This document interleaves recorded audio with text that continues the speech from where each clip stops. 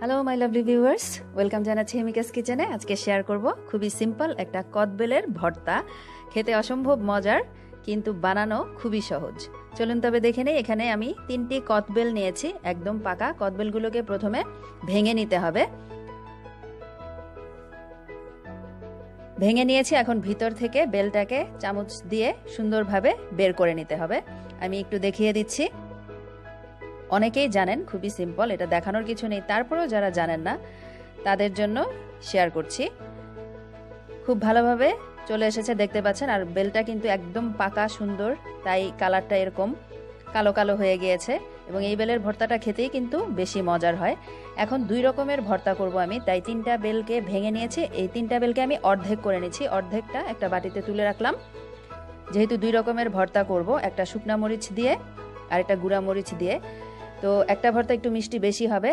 সেই ভর্তাটা আমি প্রথমে করছি, এর মধ্যে দিয়ে দিলাম এক চা চামচ পরিমাণ লবণ, এক চা চামচ লাল মরিচের গুঁড়া আর চিনি দিয়ে দিব তিন থেকে চার টেবিল চামচ পরিমাণ মতো।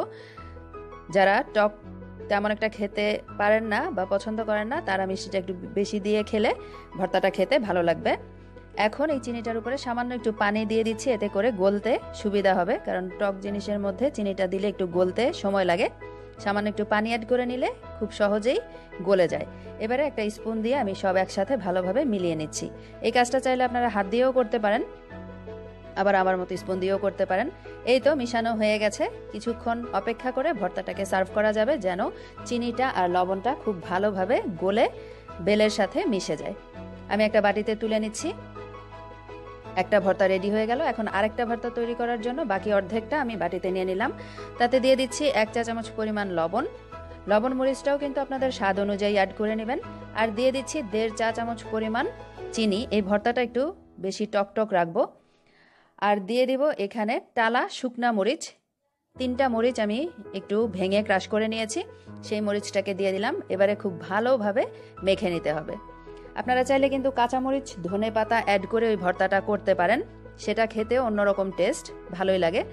যাদের কাছে যেই ফ্লেভারটা ভালো লাগে, সেটা সেই মরিচটা অ্যাড করেই ভর্তাটাকে তৈরি করে নিতে পারেন। খুব ভালোভাবে মেখে নিলেই হয়ে গেল। আমার তো মুখে এখনই পানি চলে এসেছে।